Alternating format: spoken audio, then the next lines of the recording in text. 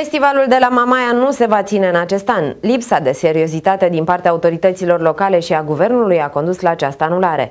Motivul invocat este lipsa fondurilor.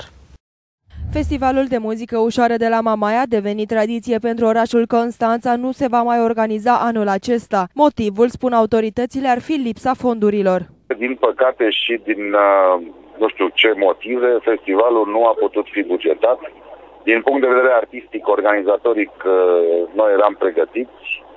Uh, eu eram, uh, cum să spun, probabil de încă de acum o lună de zile gata cu toate invitațiile și cu toate, mă rog, zilele care trebuiau să se desfășoare în cadrul festivalului, dar nu a existat uh, suficient de multă seriozitate pentru uh, bugetul care trebuia um, trebuia să existe pentru acest festival.